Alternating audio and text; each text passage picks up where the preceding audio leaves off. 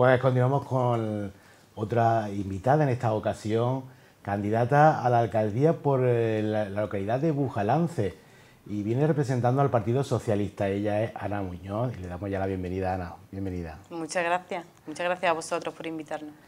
Ana, que tiene 40 años, arquitecta por la Universidad de Sevilla, máster en representación y diseño de, en ingeniería y arquitectura por la Universidad de Córdoba y máster en educación secundaria por la Universidad de Córdoba, del que obtuvo el premio extraordinario fin de máster. Ha trabajado como arquitecta en varias administraciones locales y en su propio estudio de arquitectura en Bujalance.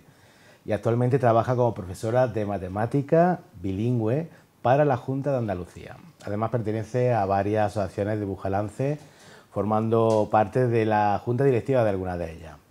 Bueno, Ana, eh, ¿qué te hace presentarte a... Pues, creo que no es la primera vez que... Es la primera vez que soy candidata, la segunda que voy en lista. Sí. ¿Qué te ha llevado a, a ese ejercicio de responsabilidad de enfrentarte, bueno, de enfrentarte, de, ponerte al servicio de los ciudadanos en este caso, como es estar al frente de, un ayuntamiento? Pues mira, mm, para alguien como yo, que nací en Bujalance, aunque nacimos en Córdoba, ¿no? pero desde el día siguiente llevo en Bujalance, he crecido en Bujalance y después de estudiar volví a Bujalance, tengo allí mi familia, después de 40 años no te puede llevar más que a querer Bujalance, ¿no? Y cuando tú quieres algo, lo que quieres es que esté bien y lo quieres mejorar. Entonces yo lo que quiero es ayudar a mejorar a Bujalance y a Morente, a sus vecinos y a sus vecinas. Y, que vean en el ayuntamiento como algo que les puede ayudar a mejorar su vida y a facilitársela, que ellos se puedan dedicar a vivir su día a día sin preocuparse por, por los trámites administrativos, sino facilitárselo. Y además, para los que no se quieran desentender, pero tampoco se quieran dedicar a la política o no quieran entrar en ese mundo, pues una cosa que a, mí siempre me había gustado, me había llamado la atención, eh, eran los procesos de participación ciudadana, que en ciudades más grandes sí que se dan, ¿no? y a mí me gustaría brindar desde la alcaldía la oportunidad a todos los vecinos que puedan formar parte de las grandes decisiones del pueblo a través de, esa concejalía y de esos movimientos. Bujalance lo conoce bien, eh, nuestros vecinos, gracias a la televisión pues, de la comarca, pues también están conociendo cada día un poquito más Bujalance. Queremos escuchar cómo Ana habla de su pueblo.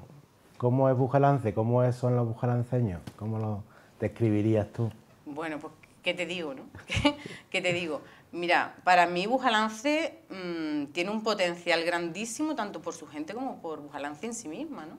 Históricamente Bujalance ha sido, antiguamente, como decían mis abuelos, cabeza de partido, ¿no?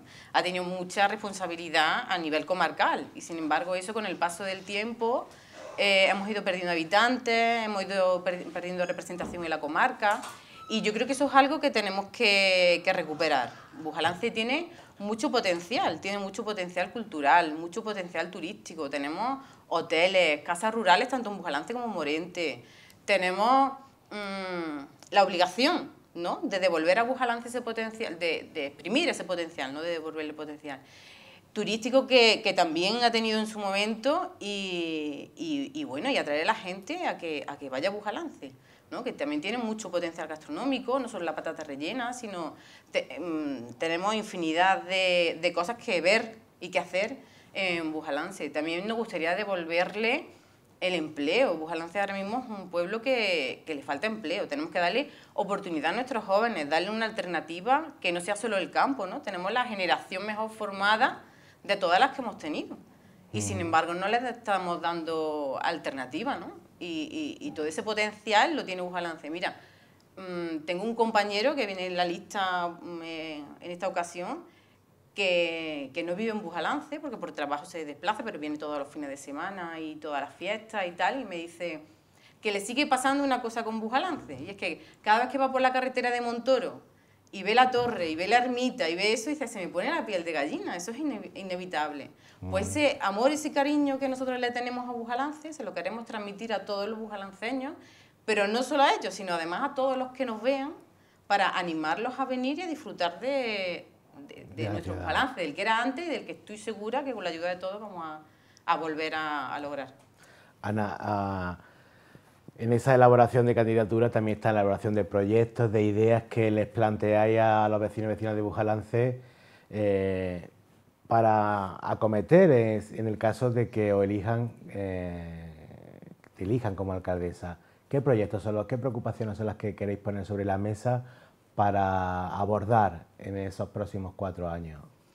Mira, una de las principales preocupaciones que tenemos ahora mismo en Bujalance, eh, y lo habrás visto por las noticias de ámbito nacional incluso, es que eh, se pretende ocupar el 10% de nuestro territorio con megaparques solares, ¿no? Y, bueno, pues nosotros no queremos que eso ocurra porque eso va a dinamitar el sistema económico que tenemos en Bujalance, que ahora mismo es el campo. Entonces, no podemos permitir que eso pase. Somos el pueblo con más almazara, hemos tenido con más almazara del mundo no de la comarca, del mundo. Entonces, eso hay que protegerlo porque además es el motor que tiene Bujalance. Entonces, nosotros queremos apostar por la creación de un plan especial de protección paisajística que regule la implantación descontrolada e indiscriminada de este tipo de implantación, ¿vale? Para proteger no solo nuestro paisaje, sino también nuestra economía, que es muy importante, ¿no? Porque si no tenemos empleo en el campo, Mm, no podemos gastar en nuestros comercios, no podemos hacer ese tipo de inversiones. Por otro lado, como te decía antes, el, potencial que tiene Bujalance Cultural es impresionante, o sea, no solo por, por sus calles, sus plazas, su arquitectura, sino mm, además tenemos, mira, tenemos un teatro español y, y, la pena es que no se le da el uso que se le tiene que dar, ¿no? Además no reúne las condiciones. Otra de las propuestas que nosotros llevamos, de las principales que nosotros llevamos, es eh, la, remodelación integral de, ese teatro para darle un uso completo, que los palcos se puedan usar, una instalación completa y que nos permita un uso racional del espacio. Ahora mismo estamos haciendo exposiciones culturales en los pasillos del teatro. O sea, quiero decir, um, Bujalance necesita, además de esa remodelación del teatro, eh, necesita también un espacio cultural en el que haya un, un salón de actos, un espacio expositivo bien, bien diseñado y que nuestras asociaciones, que el tejido asociativo de Bujalance es brutal, tengan un espacio en el que desarrollar esas actividades. Y eso lo queremos solventar con la creación de la Casa de la Cultura. Bujalance ya cuenta, el ayuntamiento ya cuenta con, con propiedades que se pueden transformar en esa Casa de la Cultura. Y creo que es una apuesta que, que, que tiene que hacer Bujalance. Luego, además, mira, también hay proyectos que no requieren de nada de dinero, ¿no? Por ejemplo, un plan de ordenación del tráfico. Ahora mismo, no sé si has visitado últimamente o no Bujalance, mm, es un caos circulatorio brutal. Ya, no es por las colas que generan los semáforos, sino es que además hay calles en dirección prohibida, que en quedan con calles en dirección prohibida. Yo vivo en una calle y mi cochera está en la perpendicular. Bueno, pues yo tengo que atravesar medio Bujalance para llegar a mi cochera. Pero ese, ese problema no lo tengo yo, ese problema lo tienen los que van al colegio a llevar a sus niños, los que van a comprar al supermercado de barrio, los que van en fin, eso es una cosa que también hay que, hay que cambiar. Y, y mire, aprovechando que estamos en los estudios de Becones, una cosa que echamos mucho en falta a muchos vecinos de Bujalance es que no tenemos cobertura en, prácticamente una gran parte, un tercio de, la, de Bujalance. O sea, el casco histórico, eso es... A nosotros no nos va a decir. el problema que, que hay a veces para hacer un directo eh, es, compleja la A mí me pasó con vosotros, yo hice una llamada una vez con vosotros y era imposible la cobertura, pero el problema de antenas que mm. eh, la deficiencia que tiene Bujalance con el sistema de, de telefonía móvil que, está, bueno, ya, desde aquí también se ha hecho ese llamamiento a la administración. Mm. Ana no se presenta sola a, la alcaldía, le respalda un equipo de personas. Eh, ¿Cómo ¿Cómo es ese equipo? ¿Cómo describirías? ¿Quién te, apoya en esa candidatura? Mira, en esta ocasión el equipo que me acompaña es un equipo joven, eh, renovado en un, más de un 80%, no recuerdo si era casi el 90%, mm, pero muy preparado, ¿no? Tenemos a gente que trabaja en la administración pública, tenemos a ingenieros eléctricos, tenemos a gente que, que, se dedica en su tiempo libre, eh, le cede su tiempo a las asociaciones de nuestro pueblo, que pertenece a la junta directiva. Tenemos gente con muchísima experiencia. Eh, la verdad es que estoy contentísima con el equipo porque además algunos no los conocía tan bien como los conozco ahora y, no puedo estar más contenta con ese equipo. ¿eh? Un equipo que tiene muchísimas ganas, muchísimo entusiasmo y, que les gusta la idea de buscar un bujalance mejor, no solo para ellos, sino para sus vecinos, para su familia y, para todo. Ana, pues ha sido un placer tenerte con nosotros. Aquí tienes nuestras cámaras para dirigirte en estos últimos minutos a los vecinos de Bujalance para darle las razones para que cojan la papeleta del Partido Socialista y la introduzcan en la urna. ¿Qué les decimos?